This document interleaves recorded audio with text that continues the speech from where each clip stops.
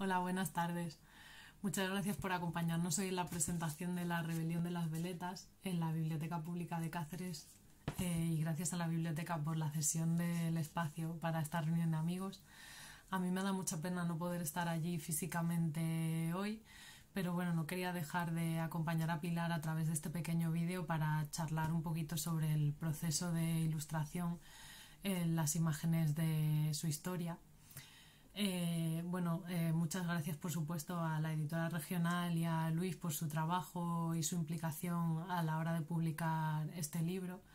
Y por supuesto a Pilar pues por su historia y porque por fin nos hemos podido reunir para trabajar en un mismo proyecto juntas que teníamos muchas ganas. Y ha sido un disfrute poner imágenes a su, a su historia. Eh, bueno, me presento brevemente, soy Esther García, soy ilustradora de allí de Cáceres y mm, bueno, llevo ya unos 13 mm, años aproximadamente dedicada al mundo de la ilustración. He trabajado en diferentes campos, pero bueno, sobre todo me he centrado en el ámbito editorial, trabajando en libro infantil ilustrado, infantil y juvenil, también en algunas ocasiones para adultos. Pero bueno, eh, mm, sí he estado bastante centrada en, el, en lo que es el campo de la literatura porque me apasiona tengo por aquí algún ejemplo de algunos libros en los que he trabajado durante estos años, como podrían ser La abeja maya o La selección natural para nórdica, o por ejemplo Valeria, un cuento de luz que se publicó hace poquito, o El lenguaje secreto de las piedras para Tule. Eh, bueno, ya son varios libros durante estos años y la verdad es que disfruto mucho el hecho de poder dedicarme a la literatura eh, más concreto muchas veces a la infantil y juvenil, como sería también el caso de la rebelión de las veletas en esta colección de tigres de papel de la editora regional. Eh, bueno, el trabajo en el libro comenzó con la propuesta de Pilar, que lo había enviado a la editora regional y bueno, como teníamos muchas ganas, como decía antes, de trabajar en algo juntas, pues la verdad es que me lo propuso. Eh, después ya hablé también con la editora regional y bueno, y decidimos que nos íbamos a embarcar un poquito en la aventura. Yo ya había trabajado en esta colección previamente en el libro del misterio del gato negro con Beatriz Osés y había sido muy buena experiencia, así que bueno, pues ha sido también un gusto poder repetirla. Eh, y bueno, en el proceso de trabajo yo eh, recibí primero el manuscrito por parte de Pilar y de la editorial y a partir de ahí, pues tras varias lecturas, eh, siempre comienza un poco el proceso de trabajo, en mi caso, más que a partir de ilustración, con muchas anotaciones. ¿no? Siempre suelo imprimirme el texto cuando llega por parte de la editorial.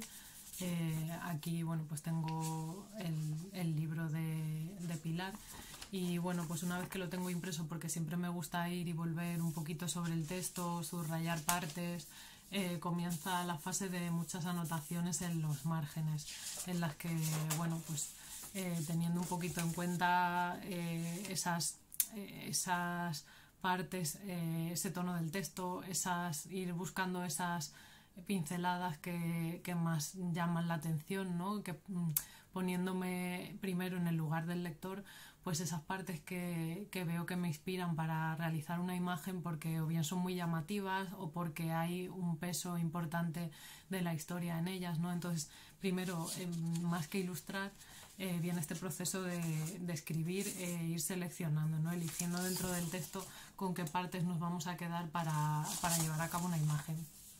En este caso, eh, sí que mm, decidí, ya que eran nueve capítulos concretamente, pues ilustrar, poner una imagen a cada uno. Eh, ya que al ser un libro de narrativa, bueno, pues me parecía un buen equilibrio que cada capítulo pudiese llevar eh, una imagen que, representara el, sentido un poquito de ese capítulo. Entonces, bueno, en mi caso mm, comienza así, ¿no? Más, más ilustrando y seleccionando que, mm, eh, y escribiendo que ilustrando propiamente. Eh, luego ya pasamos a una fase en la que, bueno, llamo de un boceto previo, en la que, bueno, una vez que hemos seleccionado pues esas partes de la historia más llamativas, en este caso, eh, pues mm, ya las hemos anotado y, y en ellas pues he ido bocetando muy levemente y de forma muy rápida eh, esa, esa, sensación que me ha dejado cada capítulo, ¿no? El, el, que va a aparecer ya, ya en ellos. En este caso el texto de Pilar me llevaba pues muy a lo que es la modernidad frente a la tradición, ¿no? En Vientos del Monte pues sucede, digamos, este conflicto. Eh, no quiero desvelar mucho todavía de la historia por si acaso, pero bueno, surge un conflicto entre las eh, veletas y bueno, esos elementos de la modernidad que llegan al pueblo y confrontan eh, frontalmente pues los dos mundos, ¿no?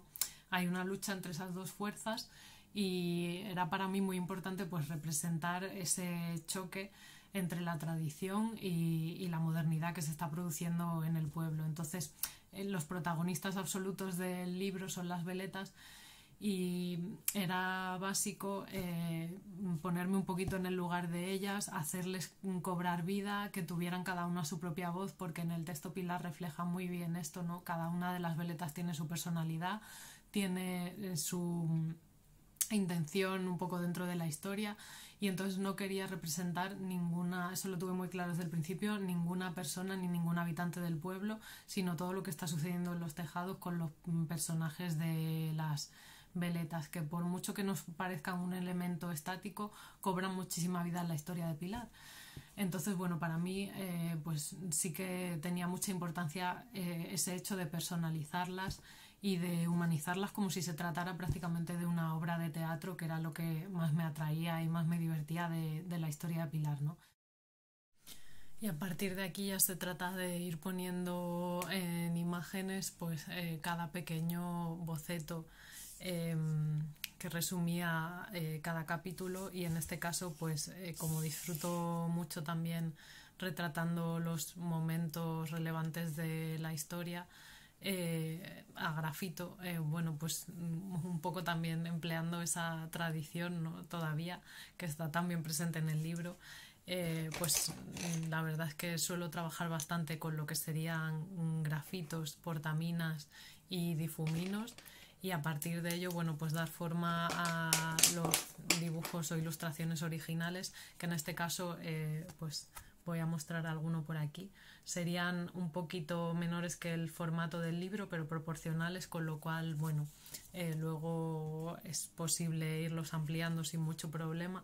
Y entonces una vez que ya pues tenemos los dibujos originales, eh, pasaríamos a un posterior tratamiento eh, digital de los dibujos, escaneándolos primero y luego, bueno, trabajando en Photoshop el tema de algunas sombras o detalles que se nos hayan escapado, eh, fondos, algunos elementos a los que queramos mm, dar importancia o resaltar más a través de las sombras. Eh, y luego ya pasaríamos a lo que es el coloreado digital, eh, que se trataría de dar la gama de color, pues también trabajándolo en Photoshop y bueno, y sobre todo dándole el acabado final de algunas texturas incluso. Eh, bueno, eh, podemos hacer también la comparación de lo que sería trabajo de una de las imágenes finales del libro y cómo sería el original para que bueno pues veáis que también hay cambios de tamaño en algunos casos eh, algunos elementos siempre son susceptibles de modificarse un poquito, pero bueno, pues esto sería un poco lo que es enfrentar el original del libro con, el acabado final, que en este caso sería con el color digital. Me apetecía mucho trabajar eh, en este libro con esas técnicas. Y bueno, un poquito de forma resumida, pues ese sería el proceso eh, de trabajo en el libro. La verdad es que comentaba el otro día con Pilar que será un libro al que siempre voy a tener mucho cariño, puesto que la, última fase de ilustrarlo estaba eh, fue durante mi última etapa del embarazo, con lo cual, bueno, pues siempre van a quedar ahí esos recuerdos eh, trabajando con la barrigota y la verdad es que fue el último libro que hice pues antes de tener a mi bebé. Y bueno, también eh, conecto especialmente con la historia de Pilar porque desde hace eh, ya prácticamente dos años vivo en un pueblo, en una aldeita de Asturias, eh, donde también vivimos un poco día a día pues el hecho de, de lo tradicional que es la vida en un pueblo, eh, o en, en, el ámbito de lo rural eh, que también tiene que, que equilibrarse eh, con lo moderno, porque bueno, no podemos dejar de estar hoy en día conectados con las comunicaciones, bueno, pues como deben ser en todos los sitios, ¿no? Con lo cual, bueno, pues la importancia de que al final los dos mundos convivan. El... Bueno, y sin más, ya me despido. Muchísimas gracias a todos por haber venido y espero que después de leer esta rebelión os animéis a tener todos una veleta en casa. Yo me he decidido por la del gallo, así que pronto tendré una. Eh, espero que os guste la lectura y lo dicho, muchas gracias a todos y un placer. Chao.